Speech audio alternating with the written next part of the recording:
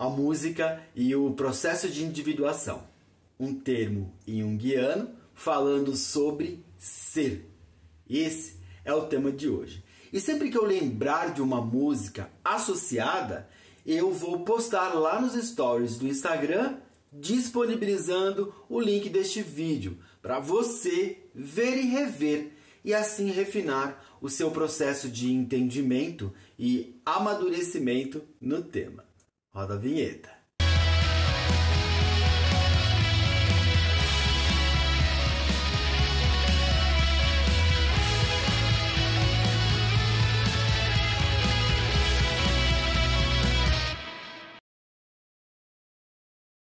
O processo de individuação ele é um termo do psiquiatra suíço Carl Gustav Jung e que estuda a evolução da consciência pessoal e a amplitude e a capacidade de ser. O respeito aí à sua essência, associado às boas relações com o coletivo e o seu papel na sociedade. Então, o curso da vida ele é feito pelas nossas escolhas, o nosso modo, né, a forma com que a gente lê o ambiente, descobre o ambiente, interpreta o mundo e lida com fatos, ideias e pessoas. Então, aceitar ou rejeitar as situações depende totalmente da sua consciência e o quanto você evoluiu, ampliou, amplia e ampliará daqui para frente aquilo que está acontecendo. Então, e a consciência ela é infinita. Então só você pode aprender a lidar com esse seu movimento, né, esse movimento interno do que eu acabei de falar. E é importante agora destacar que existem outros comportamentos que permeiam aí o seu psiquismo, né? tanto do consciente pessoal como do inconsciente pessoal, como do inconsciente coletivo. E como que a gente descobre esses dois últimos, né? o, o inconsciente pessoal e o inconsciente coletivo? No processo psicoterapêutico, nos sonhos e no mapeamento do tipo psicológico, a gente consegue ter ah, alguns flashes. Eu vou explicar um pouco é, é, partes desse processo de individuação, é uma coisa que acontece muito comigo. Algumas pessoas elas acham que eu sou esotérico, místico.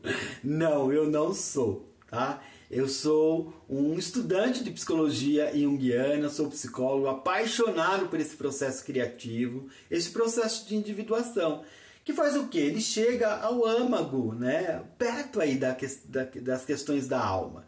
Então, o que, que eu proponho? Que você acompanhe meu trabalho, desvendando e decifrando junto comigo parte desses comportamentos né? inseridos né? na sociedade, no inconsciente é, coletivo, no inconsciente pessoal, no consciente, né? que estão ali adormecidos. Né? Muitos estão adormecidos e que normalmente são esses que nos pregam peças e que faz com que a gente caia aí em armadilhas dos comportamentos. O Jung ele estudou todos esses comportamentos em tribos indígenas, os povos nativos lá da América do Norte e de tribos na África. E para essas características comuns, tanto conscientes como inconscientes, ele denominou de arquétipos em toda a humanidade. E quando inseridos individualmente ali no homem, ele classificou em tipos psicológicos que não mudam de um modo geral, né? O tempo faz com que a gente flutue em outras esferas do psiquismo, mas a gente sempre volta à essência de ser. Então, este processo de identificação de forças, de armadilhas, é como mapear o seu DNA, é um RG da sua personalidade, ou ainda uma identificação de um tipo sanguíneo. Tá? Então será um privilégio tê-lo sincronizado e para isso basta assistir os meus vídeos. Até mais!